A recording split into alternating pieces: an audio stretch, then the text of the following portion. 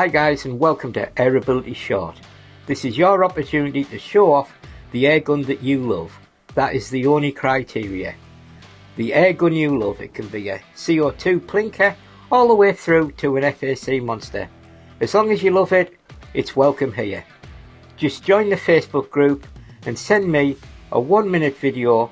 I'm happy to add the commentary myself or you can do it. You choose. Hello everybody, James Storms again for Airability.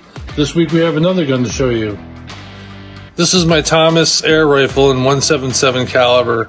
This is able to go from 12 foot pounds to over 30 foot pounds. So I would be able to use this in light varmint, heavy varmint, and open class here in the States. The pellets are loaded into the barrel as you can see in this photograph.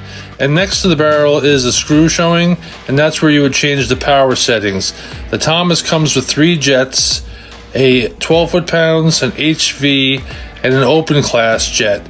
I have since made several of my own, as you can see in this picture, enabling the rifle to go over 30 foot pounds of energy.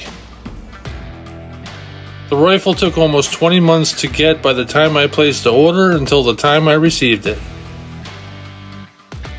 The scope that I picked out for the Thomas is a Sightron S3 36 by 45 with a target dot.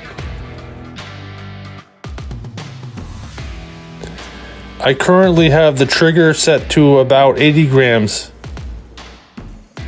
When you order a Thomas, it is completely custom built, whether you're shooting field target, HFT, or bench rest.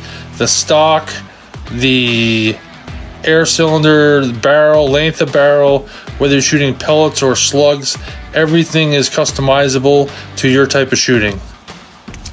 The Foster fitting at the front of the cylinder makes an easy connection to your air compressor. You'll get about 200 shots or more at a 300 bar fill. This is the power adjustment knob for the hammer spring tension, so you're able to tune your pellets uh, to the velocity that you're looking to get.